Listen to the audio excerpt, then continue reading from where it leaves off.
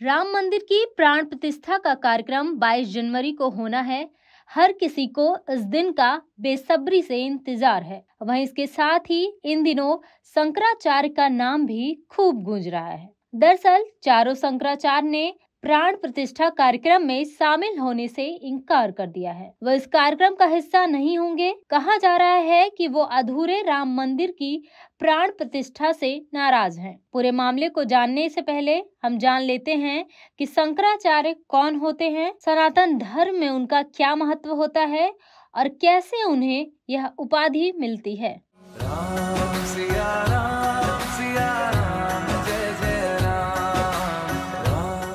बता दें, देश की चार पीठों में चार शंकराचार्य होते हैं। हिंदू धर्म के प्रचार प्रसार और रक्षा के लिए शंकराचार्य सर्वोच्च गुरु माने जाते हैं। सनातन धर्म में शंकराचार्य का बड़ा महत्व होता है। शंकराचार्य पद की शुरुआत आदि शंकराचार्य से हुई। आदि शंकराचार्य एक हिंदू दार्शनिक और धर्मगुरु थे। आदि शंकराचार्य केरल के एक गाँव में पैदा हुए थे। उन्हें जगत गुरु के नाम से भी जाना जाता है। हिंदू धर्म में और हिंदू धर्म ग्रंथों की व्याख्या करने के लिए शंकराचार्य सर्वोच्च गुरु होते हैं। आदि शंकराचार्य को भगवान शंकर का अवतार माना जाता है। आदि शंकराचार्य ने सनातन धर्म की प्रतिष्ठा के लिए भारत के चार क्षेत्रों में चार मठ स्थापित किए। चारों मठों में प्रमुख को शंकराचार्य कहा गया। इस पद की शुरुआत आदि शंकराचार्य से मानी जाती है। इन मठों की स्थापना करके आदि शंकराचार्य ने उन पर अपने चार प्रमुख शिष्यों को आसीन किया। तब से इन चार मठों में शंकराचार्य पद की परंपरा चली आ रही है। हर मठ का अपना एक विशेष महाकाव्य भी होता है। भारत में चार पीठों में चार शंकराचार्य होते हैं। इन पीठों को मठ भी कहा जाता है। सनातन धर्म में मठ या पीठ का अर्थ है ऐसे संस्थानों से जहाँ गुरु अपने शिष्यों को शिक्षा, उपदेश आदि देने का काम करते हैं।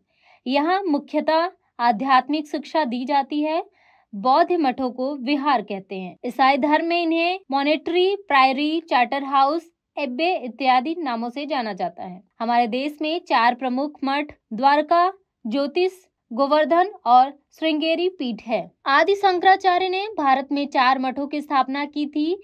इन चारों मठों में उत्तर के बद्रिका आश्रम का ज्योतिर्मठ, दक्षिण का श्रृंगेरी मठ, पूर्व में जगन्नाथपुरी का गोवर्धन मठ और पश्चिम में द्वारका का शारदा मठ शामिल है। आदि शंकराचार्य ने अपने बाद अपने चार प्रमुख शिष्यों को ये ज़िम्मेदारी सौंपी, तभी से भारत में शंकराचार्य परंपरा की स्थापना हुई। शंकराचार्य के पद पर बैठने वाली व्यक्ति को त्यागी, दंडी, सन्यासी, संस्कृत, चतुर्वेद, वेदांत, ब्राह्मण, ब्रह्मचारी और पुराणों का ज्ञान होना अनिवार्य है।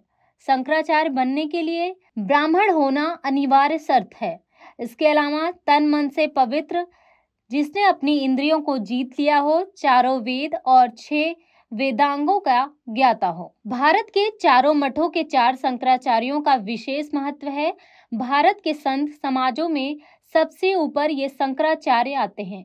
ओडिशा के पुरी में गोवर्धन मठ, जिसके शंकराचार्य निश्चलानंद सरस्वती हैं गुजरात में द्वारका धाम में शारदा मठ के शंकराचार्य सदानंद सरस्वती हैं। उत्तराखंड के बद्रिकाश्रम में ज्योतिर्मठ के शंकराचार्य स्वामी अभिमुक्तेश्वरानंद हैं और चौथे शंकराचार्य दक्षिण भारत के रामेश्वरम में सिंगेरी मठ, जिसके शंकराचार्य जगत गुरु भारती तीर्थ हैं। 22 जनवरी को रामलला के प्राण प्रतिष्ठा को लेकर कहा जा रहा है कि शंकराचार्य कह रहे हैं, अयोध्या में बना राम मंदिर अभी पूर्ण रूप से बनकर तैयार नहीं हुआ है, इसलिए अपूर्ण मंदिर में प्राण प्रतिष्ठा उचित नहीं है।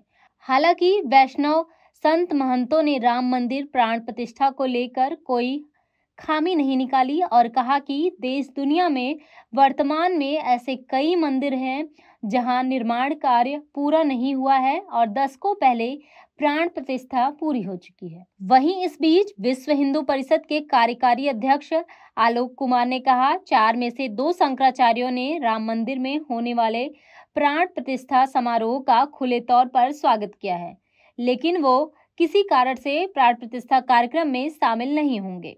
बहरहाल, इस पूरे मामले को लेकर मिलीजुली प्रतिक्रिया सामने आ रही है। पूरा मामला 22 जनवरी रामलला की प्राण प्रतिष्ठा के साथ ही साफ़ हो जाएगा। राम सिया राम सिया।